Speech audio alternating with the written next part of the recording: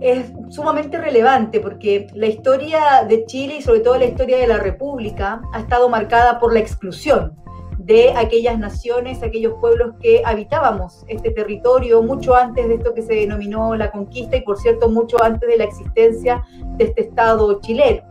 Eh, el Estado chileno se funda en la idea de eh, un Estado para una sola nación, una nación homogénea, una nación que nace además con este Estado, muy pensada desde las élites criollas que se veían a sí mismo también, ¿no? Eh, a la usanza europea. y eso definió que todo el proyecto de Estado político, de representación, de participación, respondiera principalmente a em, ese grupo, a ese colectivo, ¿cierto? Excluyendo a eh, los pueblos indígenas. Eh, no hemos estado, por lo tanto, en ninguna constitución, no tenemos en Chile el estándar de pueblos, sino que la ley actual eh, vigente, la 19.253, nos da un estándar de etnias. Nunca hemos podido participar en cuanto naciones en la vida del Estado y por lo tanto la convención se convierte en la primera instancia en la que los pueblos indígenas podemos participar y tener voces en esa calidad no en cuanto a eh, participar en un partido político o participar, ¿verdad?, en otros espacios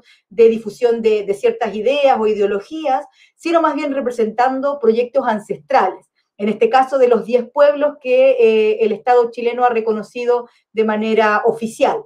Eh, y por lo tanto es relevante porque por primera vez en la historia de Chile los pueblos indígenas vamos a poder participar en ese nivel político, ¿cierto? A un nivel estructural eh, dialogando en igualdad de condiciones, poniendo nuestras propuestas en igualdad de condiciones que el resto de la, de la sociedad chilena. Y si a eso le sumamos que además la convención hoy día es una representación bastante fidedigna de la diversidad que existe en Chile, creemos que eso eh, es una oportunidad histórica para poder generar los cambios que los pueblos indígenas realmente queremos instalar y que van a ir en directo beneficio de las generaciones futuras. Los pueblos indígenas, eh, para nosotros la dualidad, que es como entendemos lo que el mundo occidental habla de la paridad de género, la dualidad siempre ha existido en nuestra cosmovisión. Eh, y no solamente en términos de género masculino o femenino, sino también en términos de fuerzas, fuerzas que siempre están confrontadas, ¿cierto? La luz y la oscuridad, la vida y la muerte, eh, y eso está presente a lo largo de todos nuestros relatos, a lo largo de todo nuestro sistema en el mundo mapuche del Raquisuam, de nuestra sabiduría, de nuestro conocimiento, y por lo tanto la, dualidad es fundamental en múltiples espacios de nuestra vida, marca de hecho gran parte de eh, los códigos de ética, las MAPU, que nosotros eh, utilizamos para regir ¿no? nuestro comportamiento con las y los demás seres, no solamente con personas, sino con todo aquello que nos rodea, sea material eh, e inmaterial. Por lo tanto, cuando hablamos de la dualidad y de este equilibrio que debe existir entre lo femenino y lo masculino, tiene que ver no solamente con, el tema del poder, sino que cómo también dentro de los pueblos indígenas esos roles van rotando y se van asumiendo en la medida o de acuerdo a los requerimientos, de acuerdo a la toma de decisiones, de acuerdo a diferentes posiciones que hay que asumir dentro, por ejemplo, de las comunidades o en distintos espacios de toma de decisión. Por lo tanto, que la eh, convención se asumiera paritaria en su totalidad, eh, de alguna manera representa ¿no? ese sentir que, los pueblos indígenas ya teníamos. Ahora, también hay que em, eh, identificar que en el caso de la convención, para nosotros como pueblos habría sido ideal tener una dualidad que se expresara en todos los pueblos, ¿no? Recordemos que en el caso del pueblo aymara, es posible, hubo una, hay, hay, una representación, ¿verdad?, de género masculino y femenino, en el caso del pueblo mapuche, con siete escaños, se corrigió esa, em, e, e, esa representación para que no hubiera una sobrerepresentación de un género por sobre otro, pero ello no ocurrió con el resto de los pueblos, que debieron elegir solo un representante y hacer esa corrección paritaria al final. Em, lo ideal habría sido tener esa representación dual eh, desde un inicio para todos los pueblos. Eh, pero dicho eso, eh, claramente eh, lo que eso permite es dar una mayor diversidad de, miradas en torno al, mundo, no solamente las distinciones que tenemos los pueblos indígenas entre nosotros, ¿no? de cómo entendemos y nos relacionamos con el mundo, sino también de cómo estas distintas perspectivas contribuyen a enriquecer la identificación de problemas, la definición de problemas, las propuestas de soluciones y alternativas, eh, pero también es importante comprender que más allá de esa dualidad, también otras diversidades de género están muy presentes eh, y han sido valoradas en el mundo indígena en general eh, y que tiene que ver con eh, cómo esas complejidades de los distintos géneros que hoy día en el mundo occidental se habla de diversidades sexuales, también ¿no? han permitido y, y, se han manifestado corporalmente en múltiples autoridades, machis, por ejemplo, en el mundo mapuche, que tienen esa riqueza, ¿cierto?, de no solamente tener una mirada dual, sino también de representación de esas distintas eh, diversidades ¿no? de género que, hoy día existen y que, que podemos ver, ¿no? Cómo cada vez más también van teniendo una mayor visibilidad en, en la sociedad entera.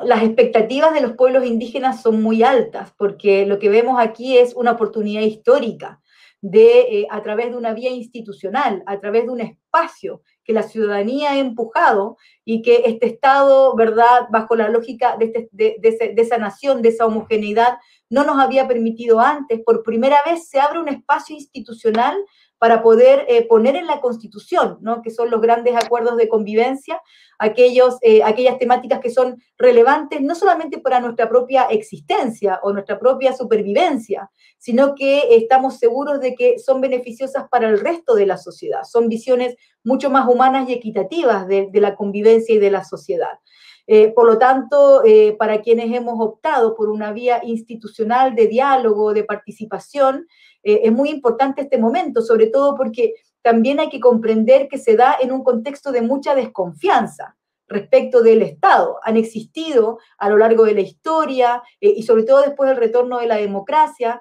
algunos espacios para esa participación, pero nunca se concretó. ¿no? En, decisiones que eh, reconocieran el ejercicio legítimo de nuestros derechos, que sí han avanzado muy rápidamente en el marco internacional de derechos. Entonces, claro, hay muchas posibilidades de soñar con lo que está ocurriendo y obviamente cuando vemos que en la propia convención hay una presidencia que eh, se expresa en una mujer indígena eh, como la Lamien Elisa Loncón, pareciera que eh, es posible seguir soñando y que efectivamente la constitución va a recoger aquello que esperamos. y por lo tanto, claro, hay un piso, podríamos decir, ¿cierto?, de cuáles son los temas fundamentales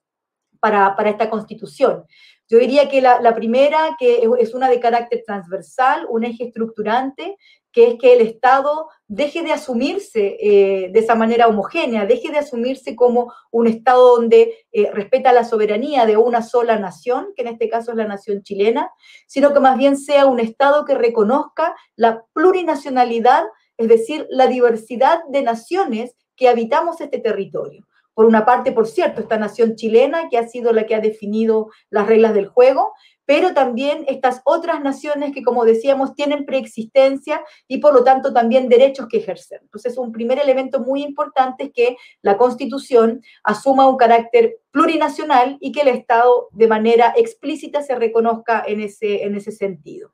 Eh, ese Estado plurinacional además debe reconocer eh, y amparar en la Constitución eh, el ejercicio de, dos derechos que son muy importantes para nosotros y que están recogidos en la Declaración de Pueblos Indígenas de Naciones Unidas del año 2007, que son el derecho a la libre determinación y el derecho a la autonomía. La libre determinación entendida como el legítimo derecho que tenemos los pueblos indígenas a decidir sobre nuestro proyecto actual y futuro, ¿cierto? ¿Cuáles son eh, aquellos elementos sociales, culturales, económicos, políticos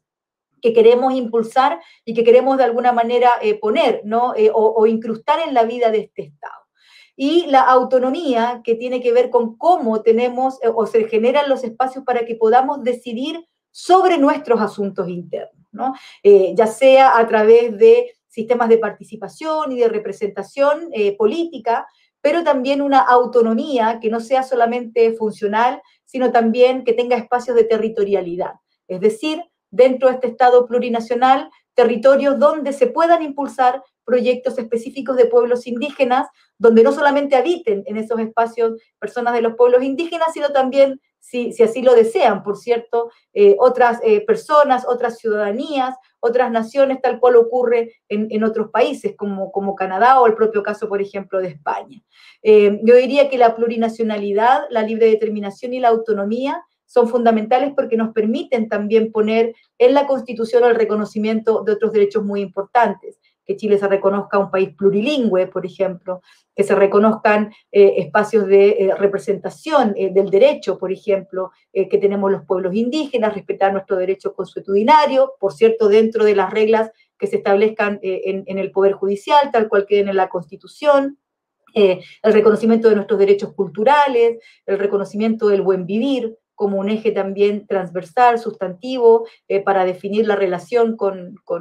la madre tierra, con el entorno, reconocer incluso a la madre tierra como sujeta de derechos. Eso también sería eh, un cambio sustantivo en, nuestra constitución, eh, sobre todo porque aseguraría ¿no? también un, criterio de equidad y de justicia con las nuevas generaciones, las generaciones futuras que se van a ver impactadas por, por esta nueva constitución.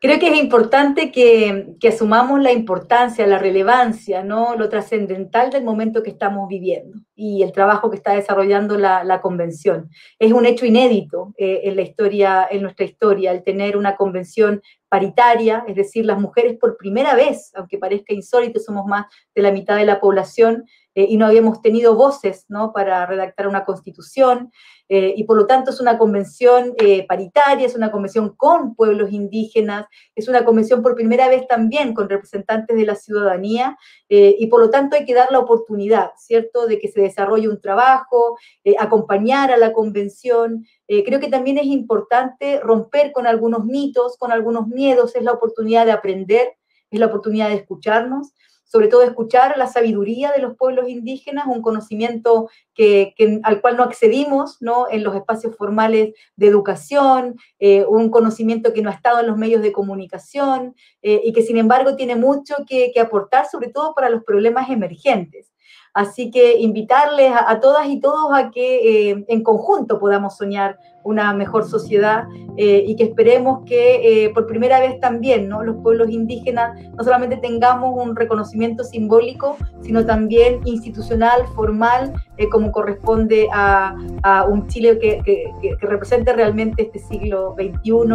y, y lo que viene para adelante. Ojalá iniciar otros 200 años más ¿no? de un recorrido para un eh, territorio que eh, se construye ¿no? con eh, aquellas y aquellos que hemos sido excluidos de manera histórica.